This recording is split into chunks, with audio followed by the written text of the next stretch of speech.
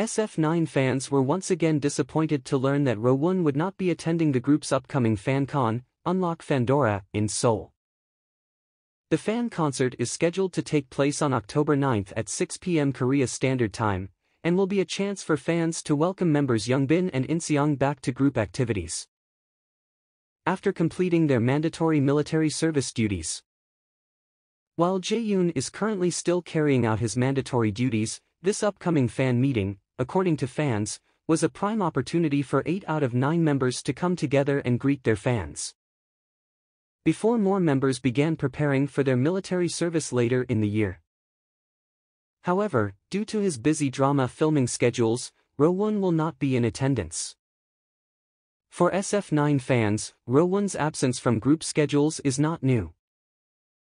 The idol originally had to sit out promotions for a time after suffering from a herniated disc in 2020. But now, some fans are of the opinion that Rowoon's absence has gone on too long.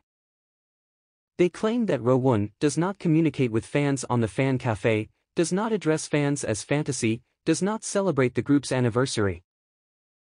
Only communicates with his solo fans when his dramas are involved, and has not participated in any group activities in 2023 except for one week of music shows. In response to the fans' dilemmas, K-netizens weighed in with comments like, At this point he's like a guest member. Everyone is more used to SF9 without him. He should make a decision for everyone involved, instead of leaving his members and the fans hanging. If he wants to act, he should just leave the group and act. Either his company or he should realize that fans want an idol who communicates with them over an idol who is famous or popular with the public. If he doesn't have the time or the energy to fulfill multiple roles, he has to make a choice. I suspect it was an obligation in his contract.